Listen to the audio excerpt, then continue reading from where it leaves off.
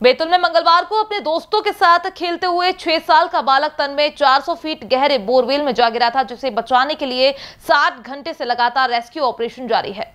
दरअसल बैतूल में मंगलवार को अपने दोस्तों के साथ खेलते हुए छह साल का बालक तन में 400 फीट गहरे बोरवेल में जा गिरा था, जिसके बाद मौके पर मौजूद बच्चों ने शोर मचाया। उधर तन्मे के परिजनों को सूचना दी गई, जिसके बाद ज़िले के प्रशासनिक अमले ने बचाव के लिए रेस्क्यू ऑपरेशन शुरू किया, जो 60 घंटे से लगातार रेस्क्यू ऑपरेशन जारी है। फ़िलहाल तन्मे बयालीस से पैंतालीस फीट पर फंसा हुआ है, जिस जिसको बाहर निकालने के लिए एसडीआरएफ की टीम बालक के करीब पहुँच चुकी है। रेस्क्यू दल 44 फीट गहरे गड्ढे कर चुका है, जिसके बाद अब बोरवेल की तरफ़ आड़ी दिशा में 10 फीट के करीब टनल बनाने का काम शुरू है।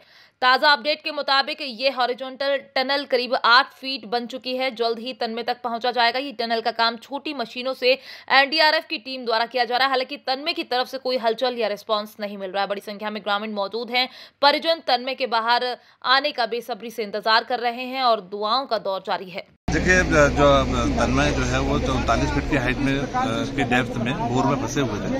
और वहाँ के बेसिक जो हम उनको हाइट को मानकर लगभग चौवालीस फीट हमको नीचे हमको जाना था। बाकी टेक्निकल मशीनों के द्वारा हम चौवालीस फीट की हाइट डेप्थ जो है ये प्राप्त कर चुके हैं।